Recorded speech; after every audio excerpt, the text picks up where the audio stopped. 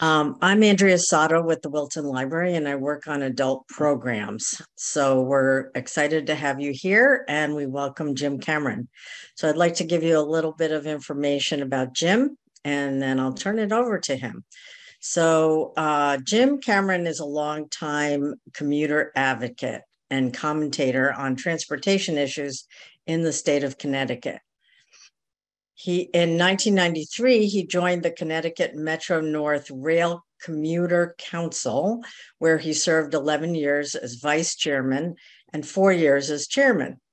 He later founded the Commuter Action Group to push for reforms on behalf of Metro North riders. Since 2003, he has authored a biweekly newspaper column and blog, Talking Transportation. Maybe you've read it which appears Mondays in four online news websites across Connecticut, including the Connecticut Mirror and Connecticut Examiner. Jim has lived in Darien for 30 years, where he serves as program director of the town's government TV station, Darien TV 79. He also serves on the Merritt Parkway Conservancy and Darien's representative town meeting but says he has no aspirations for higher office. The only thing I'm running for is the train, he says. So that makes sense. Let me just say as a final word, and then I'm logging off, or I'll I'm getting off uh, to give over to Jim. But um, we're taking questions in the Q and A, but we're taking questions at the end. So if you want to put your question in along the way, feel free to do so, and Jim will try to answer them all when he's finished with his talk. So with that, I'm turning it over to Jim Cameron. Thank you. Thank you very much. Appreciate it. Can you see that okay?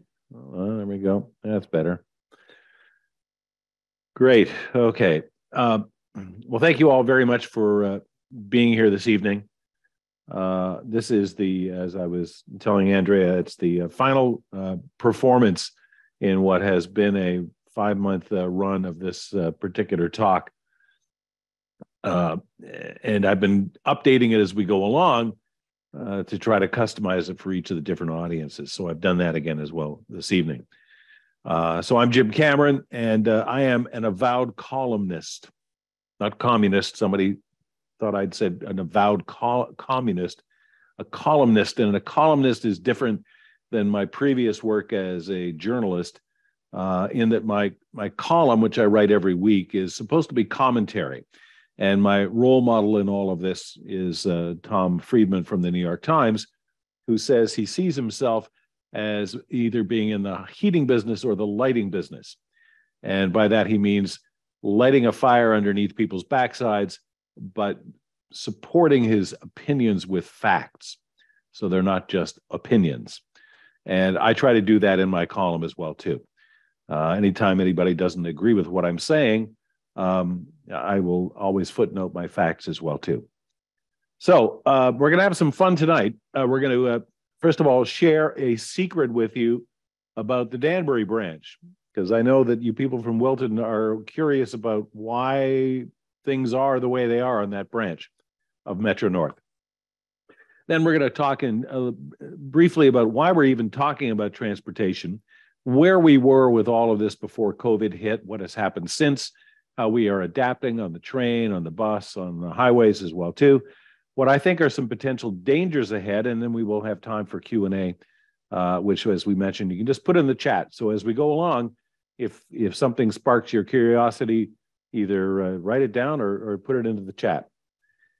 Did you know, ladies and gentlemen, that the Danbury branch was once electrified and ran with electric trains? Uh, if you would like the full story on this, drop me an email. I will send you a copy of my column, which I wrote on this a while back. Uh, it was until 1959 that uh, electrified trains ran on the Danbury branch. New Haven Railroad first electrified back in 1909.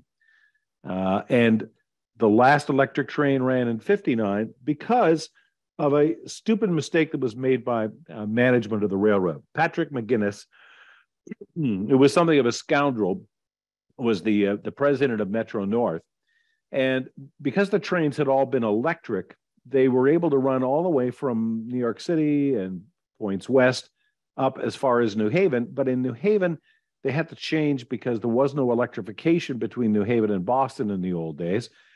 So they had to get changed to diesel. And that meant wasting time and labor and having to have two kinds of equipment diesel for the last part of the run, electric for the other part. So uh, McGinnis wanted to hybridize that, and he ordered the the uh, the the the Prius of its day, if you will, a dual mode locomotive called the FL9 that he thought was going to be cheaper than having all the electrics and the, the support of the catenary, the overhead wire, etc. And it would also mean no engine change in New Haven. So the train could run diesel from Boston in New Haven. It would just hook up to the overhead catenary uh, and then to the third rail in Westchester County and run electric. The problem was the FL9s did not run well. They only had half the power of the electric locomotives, and they were so uh, prone to freezing up in the winter that they had to run them all night long. Excuse me, diesel fuel was a little cheaper in those days, of course. Uh, but by the time that was decision or that fact was found about how badly they ran, the electrics were gone. They'd been scrapped. And in many places, the copper wire had been removed, such as on the Danbury branch. Uh, fast forward to the uh, the 2020s, and uh, now we're talking about maybe going back to hybrid rail cars again, not to necessarily re-electrify the Danbury branch, but to run diesel trains, uh, uh, trains that run diesel on the branch and then can run electric uh, into Grand Central. So, little footnote to history: you you know you had a a chance to stay electric all these years and then never had the the foresight, the management back then to do it. Why are we talking about transportation in the first place? I highly recommend uh, this book. It's called The King's Best Highway by Eric Jaffe. And I had a chance to interview him for uh, the town TV station uh, during COVID. Fascinating book. Uh, I, I usually don't do book reports, except what was interesting about this is this book is all about the development of the Boston Post Road, how it came into being, and what it meant. Back in the olden days, in the colonial days, if you wanted to go between New York and Boston by land, not by sea, it would take seven days. You would have to get on a horse and spend seven days and seven nights. There were no through roads, there were no highways per se. You would go from Indian Path to Horse Trail to open field and beyond. Uh, and in those days, if you wanted to get news from Boston to New York that the British were coming, communications meant transportation. You had to get there to share that particular piece of news.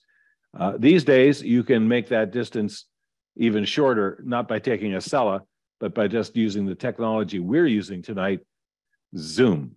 And this technology, which was brought on as a bastard child of COVID, if you will, has changed our lives forever. We do not need to travel as much as we used to.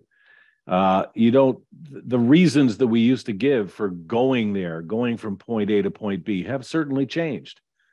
Why commute if you can telecommute? Why go to a store if you can shop online? Or go to the movies if you can fire up Netflix? And the big question is with this technology, and people are not going back to the office, what's going to happen if they don't come back in the numbers that the railroad used to depend on? This is the old office workplace. Maybe some of you had an office like this. Uh, in the past couple of years, it's looked more like this, or maybe like this. Uh, here's a dad who's got two laptops. One uh, needs to have its diaper changed, and the other is on the floor, uh, waiting for his other child to come over and push the keys. Working from home is uh, something that we had to do. Uh, somehow we embraced, and many of us now want to do. So, how is Metro North doing these days versus the past? Everything is measured in pre COVID times. Uh, March of 2020, that was the demarcation point. They were uh, carrying 3.1 million riders a month, very good on time performance, and a lot of service. In rush hour, there were two or three trains an hour, not on the branch line, of course. We're talking about the main line here. but even off peak, there were two trains an hour on the main line. More recently, the on time performance has been good. The reports I'm getting from most commuters is that they tend to run pretty close to on time. On time defined as arriving within five minutes and 59 seconds of the advertised timetable. However, the ridership has not come back. The ridership has flatlined at about 70%. The peak days of ridership are Tuesday, Wednesday, and Thursday. Uh, there are more riders on the weekends in terms of actual number of riders than there are Monday and Friday. Monday and Friday, you could fire a cannon off in your local parking lot at the train station and no one would get injured. Pre COVID, it was standing room only at rush hour. Some of these people were paying 400, 450 bucks a month for the privilege of standing for an hour and a half, an hour and three quarters each way to and from their jobs in New York City. COVID comes, not so crowded, lots of room to spread out. And that was important when social distancing may may, mean you weren't going to get uh, COVID, but also meant that Grand Central looked eerily silent, as if uh, you know a neutron bomb had gone off. Here's my best barometer of how ridership is going. Go to look at your local train station parking lot. This is the Fairfield lot in 2010. This is my lot at Noroton Heights in 2021. Now, that lot is the daily parking lot, not the permit lot. That lot has filled up again. Even the permit lot has started to fill up again Tuesday, Wednesday, and Thursday. But three days do not a railroad make. Pre COVID, here's the Danbury train. You probably recognize it, that platform way over on the east side. That's what it looked like when that whole train disgorged at Grand Central. Uh, Post COVID, it's a little uh, not not quite so crowded. and a lot more masks. Masks were important, and Metro North had to teach people how to wear masks. Frightening that people did not know that both their mouth and their nose had to be covered. And that was not just because the railroad was asking you to do that, it's because the Transportation Security Administration, the Safety Administration, I guess is more accurate, the TSA made that a federal mandate on all interstate transportation, buses, trains, airplanes. The problem was that it was not enforced. As this uh, picture by a commuter shows, the conductor wasn't even wearing it properly. And uh, these bros hanging around in the vestibule on the way home, their masks are gone and the six packs are open. Have a beer, gentlemen. I got no problem with that. But if you're not wearing masks and you're not enforcing mask wearing, what good is that rule? Uh, the TSA's rule was left in a compliance com- component by Metro North to its own MTA police department. and have can you can you remember the last time you ever saw an MTA cop on a train in Connecticut?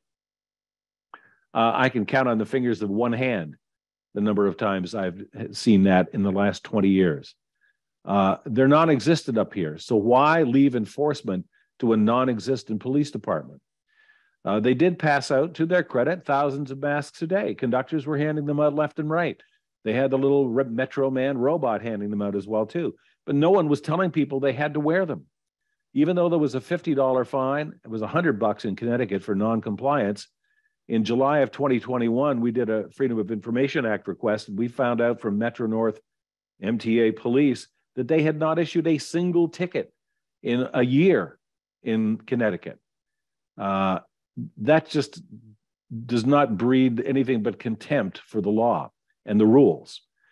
Uh, the TSA rule went away in April of this past year, of this year, uh, by order of the courts. Uh, the movie Jerry Maguire. Do you remember this? Show me the money. Uh, you know, it's all I think our future is coming down to where the money is and where the money is going to come from.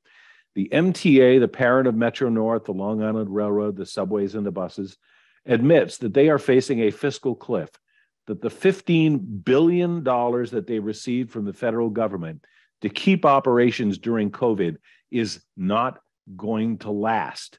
McKinsey, the consultant that they paid a million dollars plus to, to tell them what they wanted to hear, which was when is ridership going to come back after COVID goes away?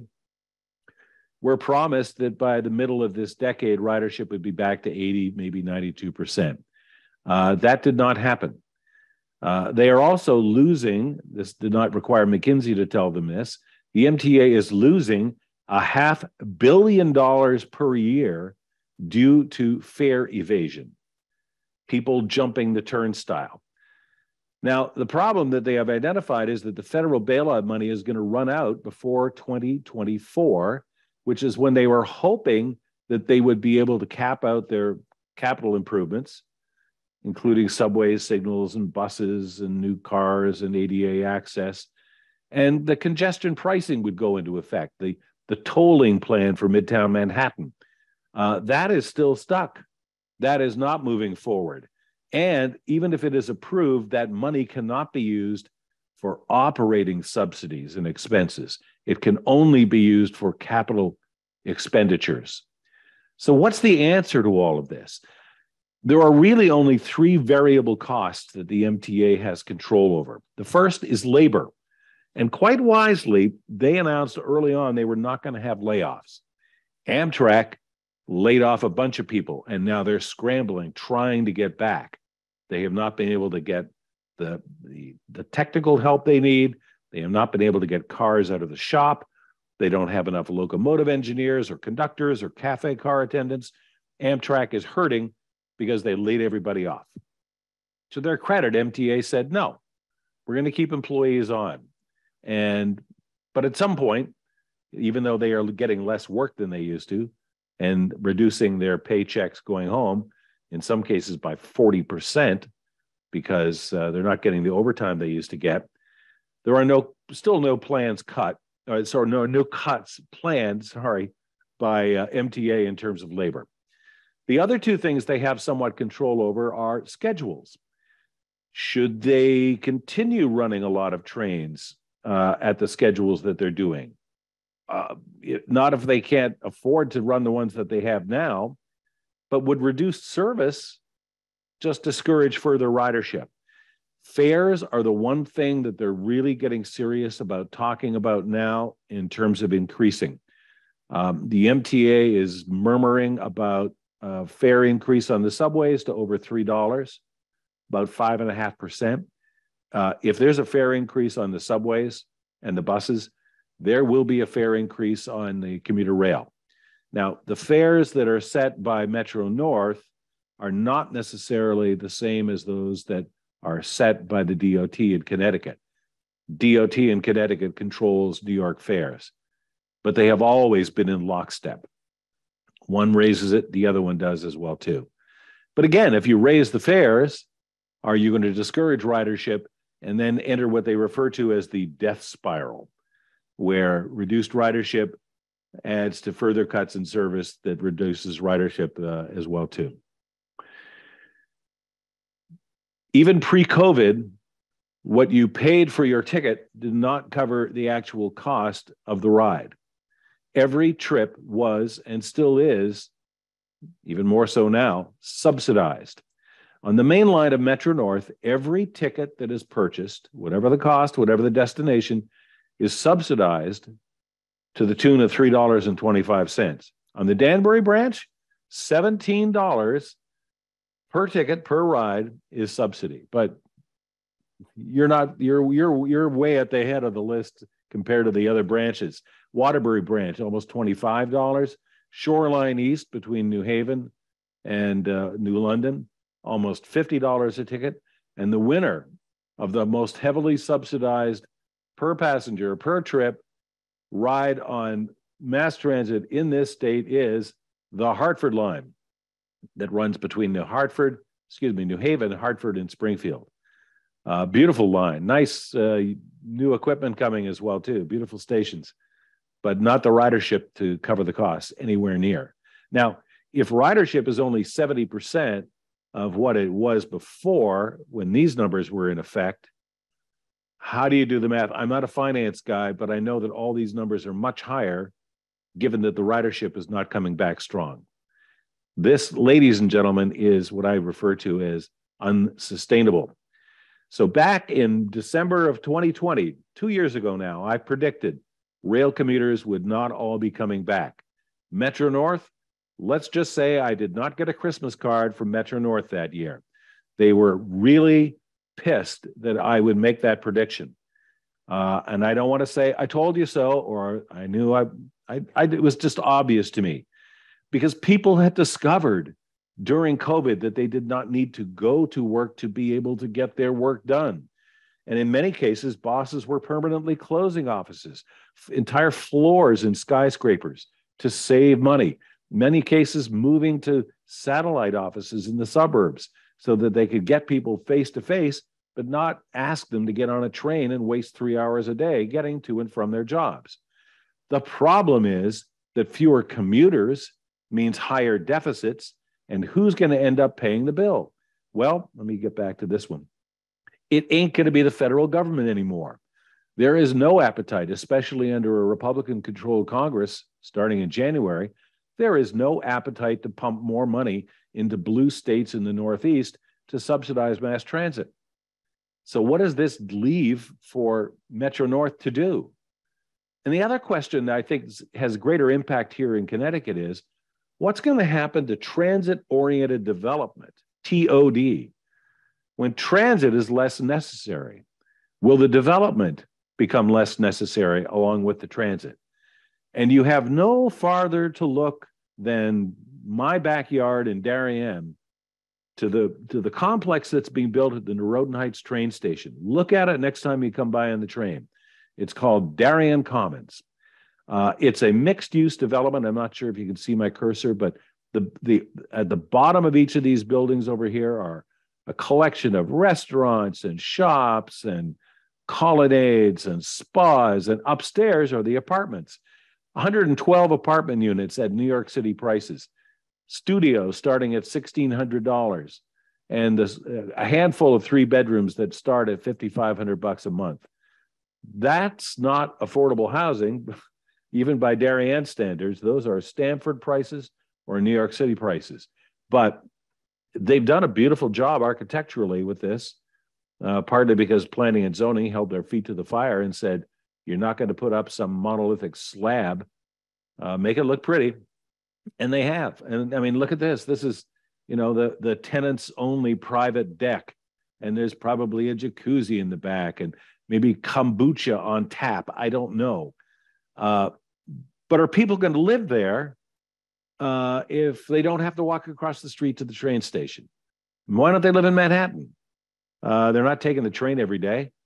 Uh, do they want to be living there? They could probably rent a house for that same kind of price, uh, even in parts of Darien, uh, starter house at least. Uh, so the the impact of the change in our commutation patterns is profound, and it's not just on Metro North; it's on the very development of our communities as well too. How do you get riders back on the train? I asked this question on Facebook and Twitter, and the first thing everybody told me was faster service, please.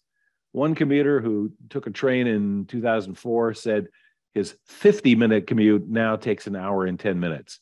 I think that's probably from maybe from Greenwich. Uh, there are too many stops.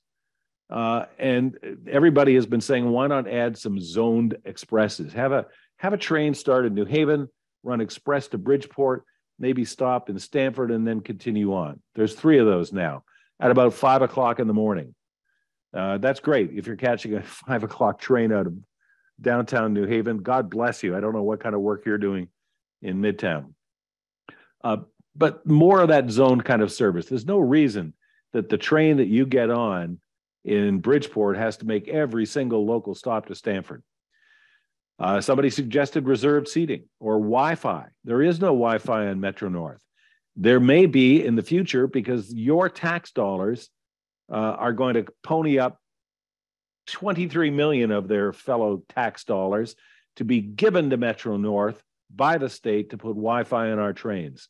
Something that Metro North would not do on its own, even with the cooperation of uh, Altice and Optimum and Comcast, et cetera. Uh, bar cars. Don't get me started on the bar cars. If I had a buck for every time somebody said, whatever happened to the bar cars, I'd be uh, buying a bar car. Uh, the bar cars are not coming back. Trust me, they're an anachronism. Lower fares. Now, you know, if you're not buying a monthly ticket, why would you buy, you know, a 10 trip? maybe you can still get a discount, but with a 20 trip. That's what they decided to do. So they've they've they've incentivized people for buying more tickets in advance. The problem is that nobody's buying a monthly ticket anymore. The monthly tickets, the all you could eat 30 day commutation pass, used to represent 47% of all the fare revenue in Metro North. It's now, I believe, excuse me, is still in the single digits. So uh, they got to do something with ticketing. Somebody also suggested why not save some money on labor by not having conductors be glorified ticket takers? Have ticket inspectors and an honor system where everybody knows they get on that train, they got to have a ticket. And they'll have a random inspection coming around from time to time. And if you're caught without a ticket on that train, you can't buy one on the train. If you're caught without a ticket on the train, uh, you're going to get a $50 or $100 ticket. Uh, and I don't mean a one way pass to Grand Central, I mean a fine. Um, that's a suggestion. I'm not sure the unions would go along with that. The other suggestion people had was, hey, here's a waiting, here's a winning idea. Why not open the waiting rooms in the winter and provide some heat and some shelter? Uh, believe it or not, th- that that's just happening now in Darien, and I wonder who suggested that to the first select woman. I don't know. Um, beyond, you know, actually having shelter in the winter, how about in the summer? How about doing some things to make the train stations look a little more attractive? And less uh, utilitarian. That's where I, I, that's me, I donated some money to our local beautification commission, and they did some plantings around the, the Noroton Heights train station. You're welcome. Uh, a little greenery, make it look, make it look cheerful. What's the impression that people get when they come up from the city and get off at your train station and they look at that train station? What's the first impression they get of your town? Why doesn't the real estate community pony up some bucks and make that train station look beautiful? So those people coming up from New York for a, looking for a place to live will say, "Yeah, this is the town I want to live in." They're really proud of how they look. So much for the trains. Let's get out on the highways before we get run over here. Highway traffic, boy, it returned to pre-COVID levels fast and furious. Uh, but the gasoline tax revenues that subsidize mass transit and highway repairs are down, way down, because the gas tax holiday has been in effect since April. And it's going to be in effect again until April of next year. But with the gas tax holiday, uh, and remember, federal infrastructure money, all that Biden Build Back Better money, that can't be spent on um, operating subsidies any more than the toll money that uh, congestion pricing will be able to generate in New York City. But one silver lining of the of the gas tax holiday was, um, and I'll get to this in a second. It came with a free bus fare system as well too, and we're going to talk about that in a second. The problem is that people are out driving around on the highway as if there's no tomorrow. And for 20,000 people who died in the first six months of this year, there was no tomorrow. The deaths on the highways are reaching extraordinary proportions. Speed zone cameras are coming in some areas of construction, but we still have an open container law in this state. We st- it's still legal to drive around with an open can of beer sitting next to the to the driver or the passenger in a car. What message does this send? So let me introduce you to my new BFF out on the highways. His name is Sean Mansfield. He's a state trooper. I had a chance to do a drive along with Sean Mansfield uh, to do a story about what his work is like as a state trooper. So I met him up at Troop G uh, in Bridgeport, and uh, uh we got into his unmarked uh, Dodge Charger with uh, police lights, and we set on down the highway. Oh, but before we got into the car, he showed me his gear. He's got a computer in there, and he's got he can he's got license plate readers. He's got radios. He can he can tell you what your SAT scores were the second time you took the test in about five minutes with just your license plate number and your driver's license. Amazing technology. The problem is it occupies a fair amount of the passenger seat. So uh, when I had to squeeze into the passenger seat, I had to uh, uh, allow for the fact that the first thing they did when I arrived at the police headquarters was they put me into a bulletproof vest. Didn't send the most, you know, warming sense of confidence through my blood, whatever was still flowing uh, as I was wearing this thing. Like, why am I wearing a bulletproof vest? Where are we going? Uh, we're not doing SWAT calls, right? No, we drove around a little bit, and uh, you know, we wrote some tickets. Uh, he was, you know, we, I think we gave a ticket to some guy from Texas talking on his cell phone. Uh, welcome to Connecticut, sir. Um, but one one funny story about speeding on the highways. We were driving back up toward Bridgeport after the rush hour, and the traffic was finally moving. And we were in the middle lane. He was saying, I'm going to sit here in the middle lane and uh, go with the flow of the traffic and see if somebody blows my doors off on the left hand side. You know, somebody passing me at 110 miles an hour, as people are doing on the highways these days. And uh, I said, he's, you know, he kind of had this glimmer in his eye about looking to pull somebody over doing that. I said, well, just let me know so I can tighten my seatbelt when when when you start to activate the lights. But I pointed out to him that we were driving along I-95 and everybody, all of us, were driving at about 70 miles an hour. We were all driving faster than the speed limit. And I said, you know, it's easy pickings for you. How do you decide who you're going to pull over and write a ticket to? And I had my pen out and my notebook was poised. And he said, just speaking for myself and not for the department, um, uh, I look for somebody who's going to be causing an accident, somebody who's weaving in and out of the lanes. Makes perfect sense. Uh, but he basically told me it's okay to drive above the speed limit as long as you're not doing it in a crazy fashion. You know, sometimes when the traffic is moving on I-95, if you're trying to drive 55, you're going to be in more trouble than if you were moving along at faster speeds. Uh, bus ridership. Bus ridership only went down slightly when COVID hit because the people who take the bus are different than the people that take the trains. In many cases, they don't own a car. They cannot telecommute.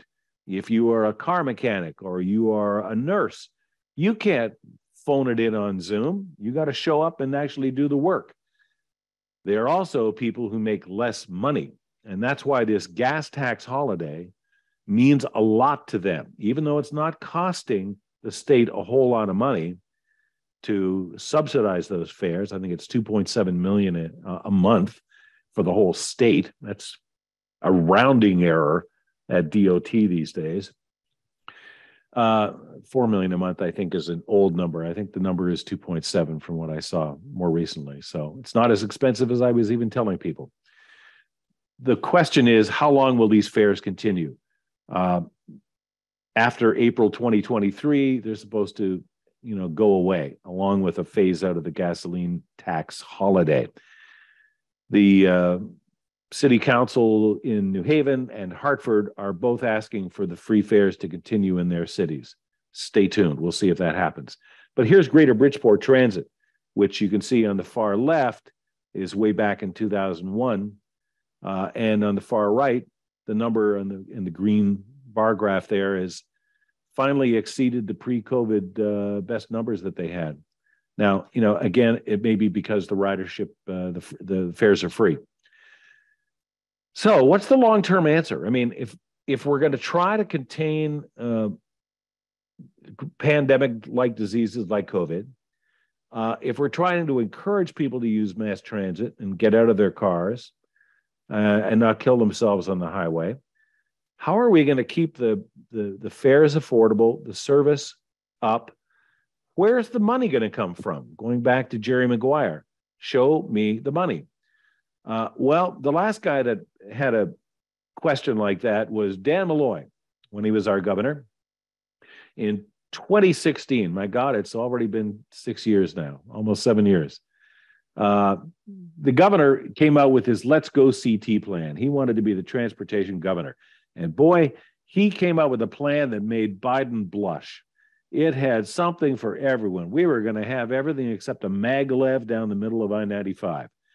There was stuff for the quiet corner. He was going to, uh, you know, power up the Danbury branch. It was, it was everybody in the state was going to get some transportation funding. The question was, where's the money going to come from? That's always the question. But, you know, he wanted his fingerprints on the success side of things. I'm the transportation governor. Here are the things I've suggested. But he did not want his fingerprints on the funding mechanism. So, as they always do in Hartford, when they don't want to make a decision or they want to blame somebody else for what the decision has to be, they formed a blue ribbon panel. Yes, this was the Governor Malloy's transportation finance panel. And they studied and they suggested and they looked at every funding mechanism under the sun. They had experts come in from around the country. They talked about every solution under the sun. And they said, okay, here's how you're going to pay for all of this, Governor. And it's not one of these things, it's all of these things. The first thing was you got to put a lockbox on that special transportation fund. You know, that that fund where all the money from the gasoline tax goes. You you can't keep dipping into that, Governor. You got to stop the legislature from treating it like a petty cash box. And that was done with a referendum that passed by, I think, 82% margin in the year 2018. There's a there's a box on that thing that's uh, it's unbreakable. Um, however, that wasn't enough. They also said, let's raise the gasoline tax a little bit because in 1997, the legislature, in a very popular but stupid move, cut the gasoline tax 14 cents a gallon. That lost us billions of dollars in money that would have built buses and trains and bridges for the last seven years when this was proposed. Uh, so they said, look, you got to get the gasoline tax back up there. Uh, just raise it a little bit for the next seven years. We'll get the 14 cents back. No one will notice. Raise the gross proceeds tax on other petroleum products as well, too, heating oil, propane, etc. They also suggested and was shot down immediately by both the Democrats and the Republicans a vehicle miles tax. This is in use in Oregon and California and in Europe, where you go to the, the, the DMV once every two years to get your uh, emissions check, and they look at your odometer and they'll say, okay, Mr. Smith, in the last uh, two years, you drove 10,000 miles. Here's a bill.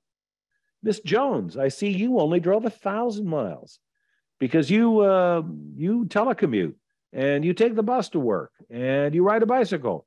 So here's a bill to you. The more you drive, the more you pay.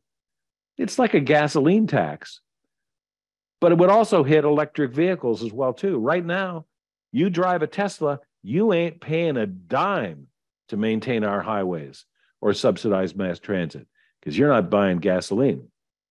And yes, they also suggested the T word, tolls. And depending on who you talk to, it could bring in anywhere from three quarters of a billion to more than a billion dollars of a year a year in revenue. Depending on whether you tax out of staters at a different rate than in-state people, you give discounts through E-ZPass to uh, regular commuters. Uh, there's all kinds of options that, that, that could be done. However, after fighting that battle for a year and a half, Governor Lamont said, "Nope, I guess tolls are not on the horizon. Uh, we're not going to do that. Instead, we're going to do a truck tax." And they put that truck tax into effect. It remains to be seen if it's going to be declared constitutional because a similar trucks only toll that was instituted in Rhode Island apparently was shot down by the courts. But I argue this question. I ask this question as this cartoon suggests. Aren't we paying tolls already? The sign says Connecticut tolls in effect. Blown tire, $200. Bent rim, 399. Damage suspension up to $2,000.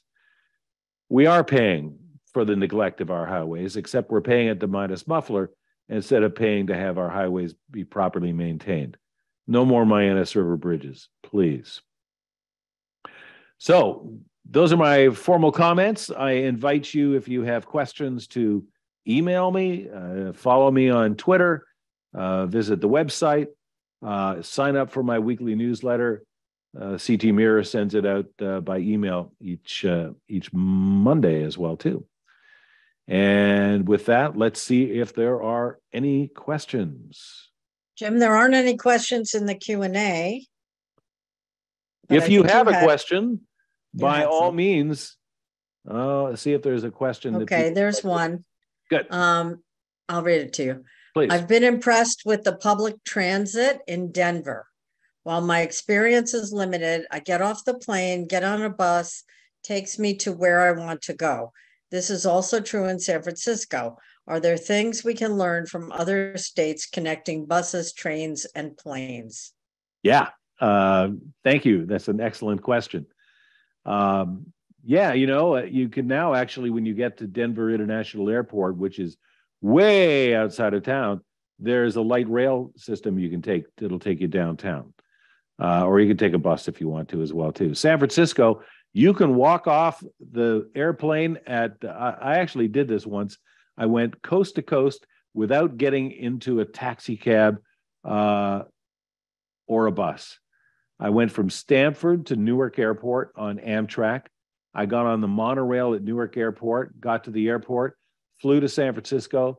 You step off the plane at San Francisco International Airport, you can walk onto a BART train, which uh, you know makes the Washington Metro look like the IRT in New York, and you'd be whisked downtown in just a matter of minutes. Uh, Cleveland, Cleveland has had a subway that goes out to its airport since the 1940s, maybe, or maybe the 50s. Yeah, well, you know, the what they're trying to do at LaGuardia in terms of running uh, a subway spur up there uh, is too little, too late. Robert Moses should have, you know, you know, Robert Moses would be rotating in his grave to hear this, but you know, he was such a huge highways fan. He did everything he could to stop mass transit from being used because he believed in the highways. We we could have had um, you know rail service directly to LaGuardia uh, and to Kennedy Airport as well, but um, uh, it's hard to to retrofit those sort of things on uh, an already developed city uh, plan like New York City has right now. Other questions? What have you always wanted to know? Any questions about Metro North? Questions about Darien and I have a dining? question. Yes, please. Um, so what is the, what do you think is the long-term viability of trains like Amtrak or even Metro North? You know, if you're talking about all these subsidies are so significant, I mean, it just doesn't, it can't last forever, I would think. Yeah. Jim, uh, put your question in the chat uh, box there because we're it's we're in a webinar format. Uh, Amtrak is going. I, I think Amtrak. This will be a column I'm going to do soon. Amtrak deserves competition. There is no reason that Amtrak should be the only railroad that runs on the tracks in the Northeast Corridor, aside from the fact that they own them. Um, I like the Italian model, where the state, the government, in effect, owns the tracks, and private enterprise is allowed to come in and offer competing service at different fares to run on those tracks. If Amtrak had competition, and there are some private interests out there that are trying to make this happen, I think we would get lower fares and better service. Uh, I think Amtrak is hamstrung by its quasi governmental uh, nature. Uh, and it just it's so slow to do anything that's innovative or marketing or encouraging of ridership. Good model to look at. In South Florida, there's a private railroad called Brightline that runs, um, it's kind of like a super commuter service from West Palm down to Miami, soon to be expanded to Orlando and then hopefully as far as Tampa. Uh, they're running Acela like trains. Um, they've even dealt with the last mile situation. They will pick you up at your home and take you to the train station. And when you arrive at your destination station, they will take you from there to where you want to go family, friends, hospital, shopping, whatever it is. They've got jitneys. They've got, uh, you know, elaborate golf carts if you're close to the train station. Uh, Metro North is a whole other ball of wax. Um, but I maintain that we will have to have something like Metro North operating to uh, keep this state afloat. Even if you're not taking the train five days a week like you used to, you need to know that that train is there so that if you have a client meeting or somebody says, come on in, uh, I'll meet you for drinks at Grand Central, you can get there on short notice. If Metro North is not reliable, forget about affordable right now. If it's not reliable, if it doesn't offer the frequency of service, people will not want to live here. And if people don't want to live here, they won't be paying taxes here. And 40% of all the taxes paid in this state to the state government come from Fairfield County because people can live here and work at those expensive or well paying jobs in New York City. So, some kind of Metro North service must be maintained. And I think the state will find ways of subsidizing that, in addition to asking the people who take the train itself to pay more of the actual cost of their ride. Long answer to a complex issue. Folks, okay. I often say, you know, if there were easy answers to these things, yes. they would have been solved by now. And I'm just offering one guy's opinion. You may have your ideas as well too. We have a few more questions. Brilliant. We've we've pumped we've, we've primed the pump. Go ahead. Okay. What can be done to improve the Danbury branch? Will double tracking the line up to Danbury, along with elect- electrification, result in better service? This could cost up to $1 billion. And would taxpayers be willing to fund this project? Uh, I, I don't think you're going to see double tracking on uh, on the Danbury branch. I don't think it's necessary if there are enough passing sidings. Um, what you're going to see is not electrification again either. At the top of my talk, if if you missed it, there was the story about how the Danbury branch used to be electrified. What is proposed now, and I think is probably makes sense, is a dual powered system, so that uh, a, a train can run diesel on the branch itself and when it gets to what is it, South Norwalk, uh, it could then pick up the electric uh, overhead catenary and run electric from there. Um, that's what the FL9 locomotives were designed to do. And I think that the replacement cars make it makes more sense to do hybrid rail cars than to pay for stringing the wire. And I don't think you need to double track it you, to to be able to improve the frequency of of service to at least once an hour. Uh, I think if you got it down to every, you know, maybe twice an hour in rush hour, people would be thrilled. Okay. Uh, another question. Speak about the new smaller airports that are expanding, New Haven, etc. Uh, it's very interesting. I went up to New Haven um, very small airport. I'd never really looked at it until Avelo, which is a new startup airline, started flying out of there. Uh, is it Avelo? I think it's Avelo. They, there's another airline called Breeze that is uh, flying out of Westchester Airport and Bradley as well too. But New Haven Airport, I'm now I'm I'm confusing myself. Bridgeport Airport and New Haven Airport uh, are both hosting low cost carriers, startup carriers. Uh, New Haven Airport is running 737s, and uh, Sikorsky Airport in Bridgeport, I think, is running A220s. But they're nice planes.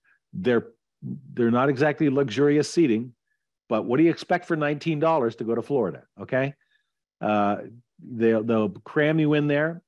Uh, there are no amenities per se. I mean, I don't think this. There might be Wi-Fi, but there's no seat backs, no uh, seat back videos, no uh, maybe bag of peanuts and pretzels, but sort of like bring your own.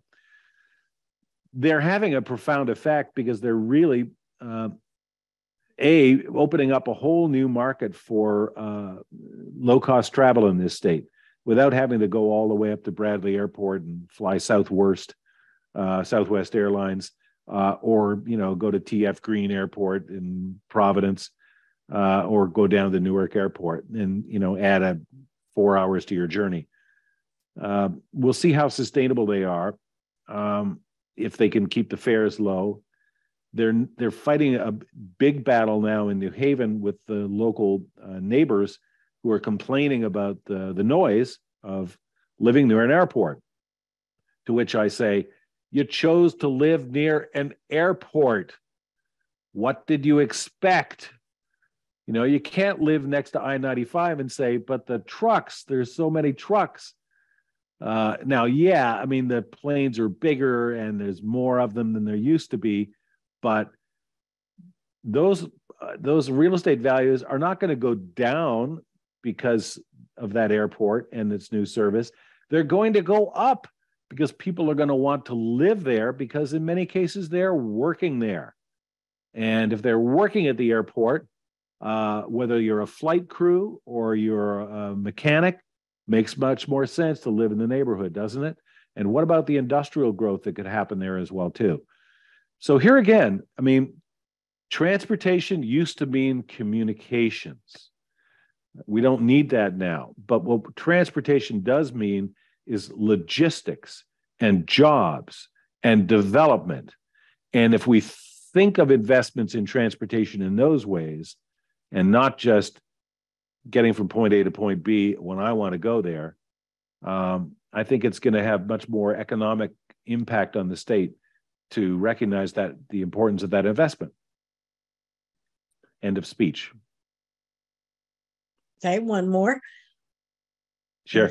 This, Bring it on. This is hypothetical, but could a Metro North M8 train yeah. run to Boston? Would there be economies from combining Northeast Corridor commuter service? God, I love these questions. That's a great question. Uh, it's not that hypothetical. Uh, I mean, physically, uh, logistically, physically, yes, it could. It would. I believe it has the proper power conversion technology. Uh, it can all M8 cars can all M8. Okay, M8 cars are the the red lined cars that you see on the main line that have the overhead electrical systems. Uh, they run into Grand Central from New Haven. In recent months, they also run now on the new on the uh, Shoreline East Railroad from New Haven up to New London. Same overhead catenaries. There's one bridge where they have a problem with the third rail shoe, but that's small potatoes right now in, in your hypothetical example. So yeah, they could run as far as Boston. I don't think they need to. I think they need to run farther than they are now, which is just New London, and it's not all the Shoreline East trains that go there. There's no reason that those trains could not also run to Stonington, to Mystic, and those points beyond New London and get up to cross the border into Rhode Island because the MBTA, their commuter railroad, comes down from Boston, past Providence, past the airport, and goes down as far, I think, as Warwick. There's no reason the Metro North and the MBTA could not meet in Warwick or one of those communities. The same way, if you want to go to um, Philadelphia, you don't have to take Amtrak and pay through the nose you can take Jersey Transit to Trenton and switch at Trenton to SEPTA and take their commuter train to Philadelphia. This is the last section of the Northeast Corridor, all the way from Washington to Boston, that does not have commuter service redundant to what Metro North, uh, what Amtrak offers. Amtrak trains stop in Mystic. I think it's just twice a day. Twice a day the you know if I was the Mystic Aquarium or uh, the the Indian casinos there, I'd be going, "Hey, I'm going to throw myself in front of the train. Stop the train. Let people get off." Uh, if if Metro North made that journey, it it could could answer that that particular question as well too. And there are some suggestions that that might happen. However, the problem is that Shoreline East ridership, as you saw from the chart, is subsidized already pre-COVID, 50 bucks a ticket, and their ridership has not come back anywhere near strong enough. They don't even have the schedules they used to pre COVID. And they're having a hard time arguing they need to get back to more service, let alone expand it up into Rhode Island. So I, I like the hypothetical, you know, dream big, but uh, I'm I'm also kind of, you know, I'm trying to be realistic here. I'm I'm a rail advocate. Okay, people go, why are you so negative, Jim? You're like Lewis Black. You're just everything's rah, rah, rah, rah, rah. Maybe I'm getting a little cranky in my old age, but I, I think it's important that we be realistic about the decisions that have to be made and where the funding is going to come from. Anybody can dream up a maglev down the middle of I 95, but who's going to pay for it? And can we ask upstate people to keep subsidizing our rail fares? Yeah, you know, I mean, we subsidize their football stadium in East Hartford. We don't get to play up there. We are part of a larger thing called a state. But, uh, you know, I'm just trying to be, I'm trying to speak truth to power. We'll, we'll see how that plays out. Are there any other questions? Okay, there was one statement and another one other question. So the statement was just, I think it said Wickford Junction. Yes, Wickford Junction. The, Thank you very much. Where the community line ends in Rhode Island. Thank you. See, I told um, you, I warned you, Andrea, that the people who know more about railroading than me would be here tonight to keep me honest. Thank you very much. uh, there's one more question though. Does the freight line ownership of the Danbury line hurt commuter improvements? I freight line ownership. Freight line. I don't know that that line is actually owned by a freight railroad. I thought it was owned. Well, I think it's owned by DOT. Uh, now there are. I don't know if there are even freights that run on that branch but I may be wrong. I mean, I, I'm, you know, I'm telling you more than I already know about all this stuff. So I don't know. I will say this because uh, I often get a question: How come there are not more freight trains in Connecticut? Uh, there are a lot of freight lines in Connecticut, but they're all what are called short lines. Uh, they literally are very short, and they move a few box cars from here to there. The New Haven Railroad used to run a very robust and very profitable full freight service on the main line. They had more freight trains, I think, than, than passenger trains at their peak. Uh, and they made a lot of money on it. Pre interstate highways, pre trucking. Uh, when that all went away, so did uh, you know most of their their profits, and that's why they uh, they went belly up in, in in part as well too. The problem we have with freight uh, is that the bridges are too low and the catenary, the overhead power line, uh, is uh, too low as well too to run the kind of double stack containers that you see in 99% of the rest of the country out west. Um, Metro North, which you know doesn't want to have a whole bunch of freights running on the main line because they run slower than the the real train, the, their trains do. Um, it, the DOT owns that trackage from New Rochelle up to New Haven. Um, and I don't think they want to have a whole lot of freight running there either, especially if it slows up the already too slow trains on, on Metro North. So I'm not really sanguine about freight coming back. However, living fairly close, I live about a half mile at most from the main line of Metro North near Noroton Heights.